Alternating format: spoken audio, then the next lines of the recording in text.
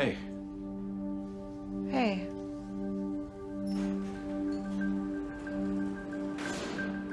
Look, I am sorry about yesterday. I was a jerk. I, uh, should have kept my mouth shut around Meg. Patterson told me you guys split up. That had nothing to do with you. Meg and I had our own issues. Yeah, but if I hadn't... It wouldn't have made a difference. Your feelings weren't the problem. Are you telling me that you have never had feelings for Tasha? We could make it work.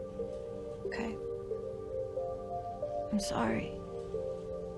For both of you. I really liked Mike. Thanks. Me too.